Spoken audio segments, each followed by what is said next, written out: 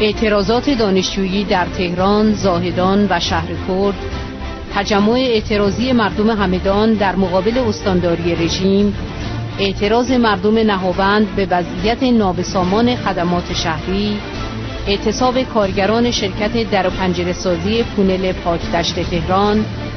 تجمع اعتراضی رفتگران منطقه شش شیراز.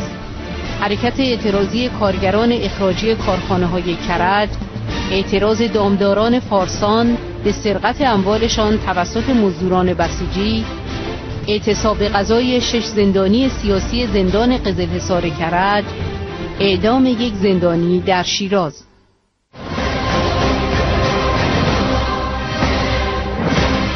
دانشجویان دانشگاه آزاد شهر کرد با مزدوران بسیجی که به گرد همایی آنها یورش برده بودند درگیر شدند. در این درگیری پنج تن از دانشجویان دچار شکستگی از نواحی مختلف بدن شدند.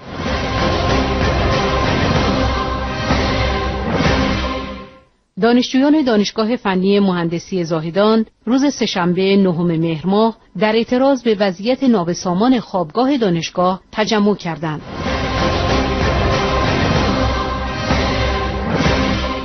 دانشجویان دانشگاه معماری دانشگاه تهران روز سهشنبه نهم مهر ماه به خودداری رژیم آخوندی از تامین امکانات آموزشی اعتراض کردند و کلاس‌های خود را ترک کردند.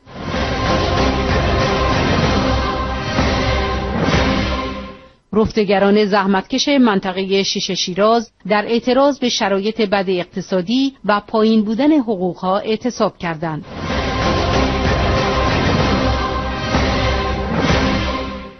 بیش از 150 تن از کارگران اخراجی کارخانه های کرج روز دوشنبه هشتم مهر در مقابل اداره بیمه شهریار کرج تجمع اعتراضی برگزار کردند.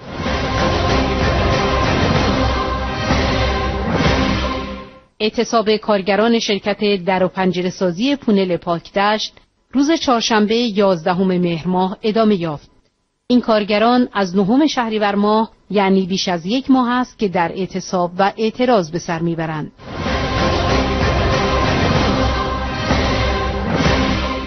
روز سهشنبه نهم مهر جمعی از مردم همدان در مقابل اداره میراث فرهنگی و استانداری رژیم در این شهر تجمع کردند و به فروش یکی از میراث فرهنگی این شهر اعتراض کردند.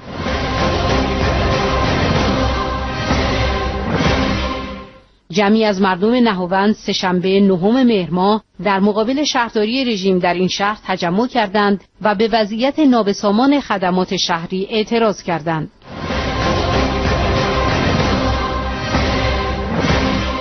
دامداران منطقه فارسان استان چهار محال بختیاری روز سهشنبه نهم مهر ماه جاری در مقابل بیدادگاه رژیم تجمع اعتراضی برگزار کردند. آنها به سرقت 400 رأس گوسفند خود توسط مزدوران بسیجی اعتراض کردند. مزدوران بسیجی با زور اسلحه اقدام به این سرقت کردند.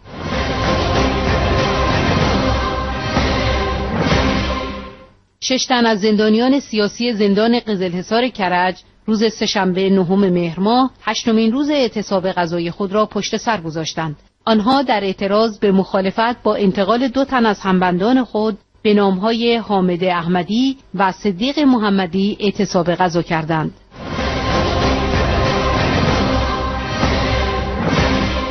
پشخیمان رژیم آخوندی دو تن از زندانیان محکوم به اعدام زندان گوهردشت کرج را به نقطه نامعلومی منتقل کردند. این دو زندانی که کاوه ویسی و مختار رحیمی نام دارند از سال 1388 در زندان به سر می‌برند.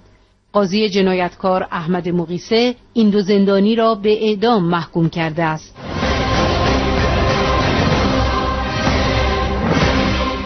رژیم آخوندی یک زندانی را صبح روز چهارشنبه در زندان مرکزی شیراز به دار آویخت. خداییان رئیس جنایتکار دادگستری رژیم در استان فارس گفت تقاضای عفو محکوم رد شد و حکم صبح امروز در زندان مرکزی شیراز اجرا شد.